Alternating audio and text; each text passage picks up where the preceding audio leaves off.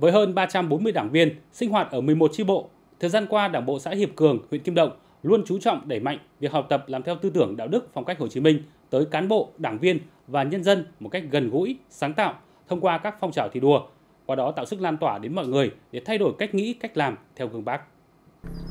Được đánh giá là chi bộ tiêu biểu trong học tập và làm theo Bác, Tri bộ thôn Lương Xá đã triển khai nhiều nội dung chương trình về thực hiện học tập và làm theo Bác bằng những phần việc cụ thể. Mỗi đoàn thể tổ chức chính trị xã hội thực hiện đăng ký phần việc làm theo gương Bác gắn với lĩnh vực chuyên môn. Cán bộ đảng viên phát huy tinh thần đi trước làm trước trong mỗi công việc chung của thôn xóm như hiến đất làm đường, tham gia phong trào của địa phương, tri bộ thực hiện, ghi sổ vàng, biểu dương khen thưởng những cá nhân tập thể có thành tích tốt.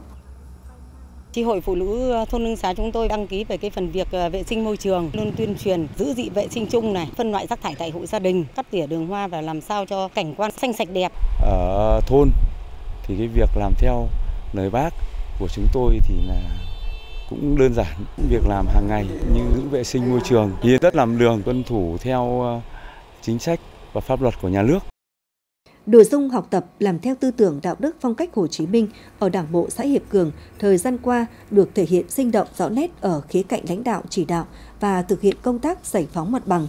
Trong năm qua, hơn 500 hộ dân ở các khu dân cư thôn xóm hiến hơn 10.000 mét vuông đất nông nghiệp, đất thổ cư để mở rộng đường giao thông. Các công trình đầu tư công qua địa bàn xã cũng nhận được sự đồng thuận cao từ người dân, từ đó tạo nên khí thế thi đua sôi nổi, khích lệ mọi người đoàn kết, tích cực trong xây dựng quê hương. Trong cái thực hiện giải phóng mặt bằng này thực ra là cũng rất khó khăn, nhưng mà thực hiện theo phong cách ờ, đạo đức Hồ Chí Minh thì cán bộ đảng viên rất tập trung tuyên truyền vận động nhân dân tự giác hiến đất và phá rỡ công trình để thực hiện dự án cho được nhanh đúng tiến độ. Việc học tập làm theo bác ở xã Hiệp Cường đang ngày càng đi vào nền nếp, có trọng tâm trọng điểm và trở thành hoạt động thường xuyên liên tục trong hệ thống chính trị từ xã đến các thôn và các chi bộ chuyên trực thuộc. Đảng bộ và các chi bộ xác định cái việc học tập làm theo tấm gương phong cách đạo đức Hồ Chí Minh là một việc làm thường xuyên và hết sức quan trọng. Do vậy là tất cả các nghị quyết của Đảng bộ thì tháng nào cũng đưa vào mang chất thường xuyên liên tục và triển khai đến từng người dân từ việc ghi sổ vàng khuyến khích động viên các những cái gương điển hình.